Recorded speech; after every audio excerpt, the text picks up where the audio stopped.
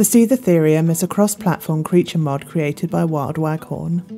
Found in the redwoods, it is a passive tame that accepts sweet vegetable cakes, vegetables, and berries. But be warned, when you feed a Sivatherium, all other creatures nearby will become aggressive. It has been designed to provide an engaging, viable alternative to using flyers when searching for tames. Sivatherium has a passive ability to detect nearby max level creatures when mounted, as well as an alternative ability that gives you thermal vision that reveals nearby dino stats. In addition to this, it also has a headbutt attack, a rear kick that inflicts a slow debuff, and an immobile defense stance which reduces damage taken by 80%. You'll find the mod on CurseForge, linked down below in the description, and with that, let's find out more about its real life inspiration.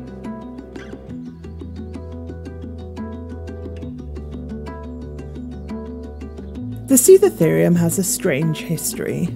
First described in 1836, it was labelled as the missing connecting link between pachyderms and ruminants. Pachyderms are a now obsolete order of mammal, but the group once included elephants, rhinos, tapirs, horses, pigs, hippos, and hyraxes, which are small and rotund herbivorous mammals with short tails. The bones that were discovered in the Shivalik Hills, an area of the Himalayan foothills in northern India, were quite unlike anything that had ever been discovered before. The near complete skull was exceptionally large, it had a pair of horn cores between the eyes, and the nasal cavity looked to be recessed further back into the face, perhaps indicating that a short trunk had been attached to it. Due to its large size and the lack of evidence that it had had a long neck, the researchers at the time concluded that the Sivatherium must have had a trunk in order to bring food and water to its mouth. Not everyone agreed, however, and the discovery of further bones showed that the Sivatherium had a second pair of broad pronged horns. This appeared to confirm that the Sivatherium must have been an antelope, likely related to the American pronghorn. At the same time, the French anatomist Geoffroy Saint Hilaire proposed that the Sivatherium was a close relative of giraffes, but his contemporaries dismissed the proposal. It would, however, turn out that Saint Hilaire was correct. The Sivatherium was not a connecting link between ruminants and pachyderms, nor was it a species of antelope. It was an extinct form of giraffe. The Sivatherium once lived across Africa and the Indian subcontinent. The holotype fossil discovered in the Shivalik Hills has been dated to being around 1 million years old. It was named after the Hindu god Shiva, and the name means Shiva's beast. The Sivatherium was an unusual creature, looking like a cross between a deer, an ox, and a giraffe, with a moose like build consisting of a bulky body and thin legs. Although related to giraffes, it is thought to have looked more like another modern day family member, the okapi. Despite its unusual looks, very little reconstructive research has been done regarding the Sivatherium. From what is known, it is thought that it would have been about 2.2 metres tall at the shoulder and about 3 metres tall in total. It weighed up to 500 kilograms, although newer estimates place this weight closer to 1,300 kilograms.